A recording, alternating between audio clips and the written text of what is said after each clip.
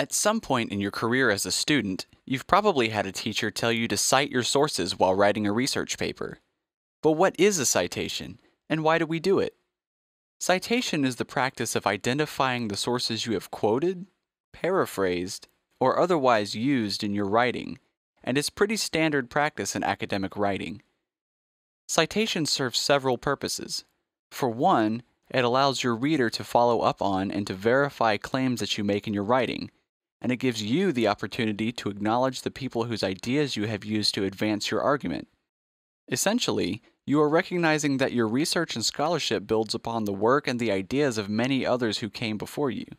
The result is that citation helps readers see the connections between books and articles published by many different authors, as well as how they connect to your own ideas.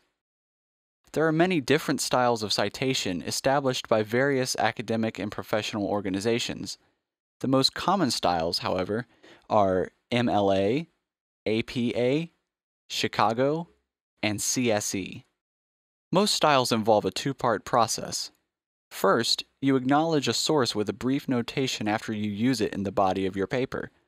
Then, you provide more detailed information about the source at the end of your paper in the Works Cited list or bibliography. This more detailed entry will include essential publication information about the source, including the title of the work, the author, and the date of publication, so that your readers can find it. Each citation style has a published guide outlining all the details of how to use it, and there are also many online tools to help. If you have any questions about citation as a practice or about a particular citation style, ask a librarian for help.